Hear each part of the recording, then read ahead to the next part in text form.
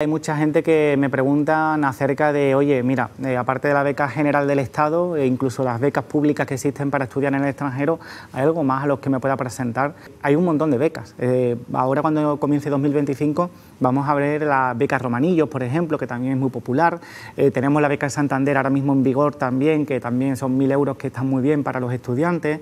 luego pues tenemos esta, ¿no? que es la beca de la Fundación Amancio Ortega. No solamente te pagan los estudios, la matrícula, las tasas, que allí, bueno, eh, es completamente diferente aquí, hmm. a España. También te pagan el viaje, que fijaros, un viaje a Canadá, un viaje a Estados Unidos supone un coste bastante alto.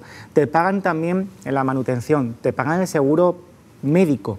Es que allí no hay seguridad social, es que allí como te pase algo te cuesta una pasta acudir a tu centro de salud, a un hospital y eso los que vivimos en España no sabemos la, gran baza que tenemos con la sanidad pública y la educación pública. Lo que más termina aportando a los chicos y chicas de forma consciente es que conviven con una familia porque no se trata solo de que te lleven allí a, un instituto, no, es que además vas a aprender sobre la cultura de la familia anfitriona, porque vas a tener que reconocer costumbre, incluso voy a decir algo, yo he visto en redes sociales algunas de esas familias publicar las condiciones de la persona que venga de España para convivir con ellos. ¿Por qué? Porque tú entras en una casa ajena con unas costumbres, una forma, una educación, una forma de, estar en casa, eh, cuáles son eh, las reglas de convivencia.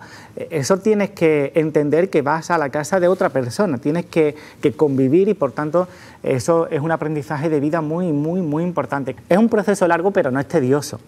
Porque asusta mucho, yo en el vídeo cuento todos los plazos. Primero eh, tienen que, escoger a esos seleccionados que pasarán, las que pasarán a las pruebas.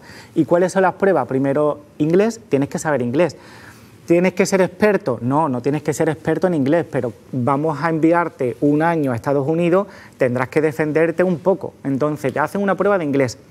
Y primero será presencial y luego una online, ¿vale? Te harán por videollamada una prueba de inglés.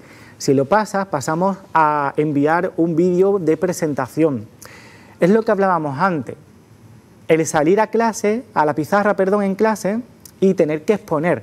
Nosotros nos conocemos perfectamente, sabemos cómo somos, pero es que tienes que expresárselo a otra persona y tienes que saber comunicárselo de tal manera que te entienda y que, bueno, pues ahora en inglés, que es un pasito más. Eh, puedes que sepas inglés, pero tienes que romper con esa timidez y tienes que conocer la mejor forma de esa oratoria. ¿Qué pasa? Que al ser un vídeo que tú envías, no es en directo, te permite la ventaja de poder reformular el vídeo, de verlo, no me gusta, voy a repetirlo, voy a cambiar la estructura. Yo recomiendo a todo el mundo que haga un guion. ¿Qué es lo que quiero expresarle? Y eh, dividir ese guion en varias partes, que no se haga aburrido, que se haga pues tan entretenido como cuando estamos viendo un vídeo en TikTok, algo rápido, algo eh, dinámico, pero que le permita a esas personas que te están viendo que tú tienes soltura. Da igual quién seas tú, realmente no les importa. Lo que les importa es que tú sepas expresarte, que tú sepas eh, presentarte y eso lo vas a poder hacer 37.000 veces en un vídeo que vas a enviar únicamente el bueno. Es como cuando nos hacemos un montón de fotos cuando vamos de viaje, solo publicamos las buenas. Pues aquí lo mismo.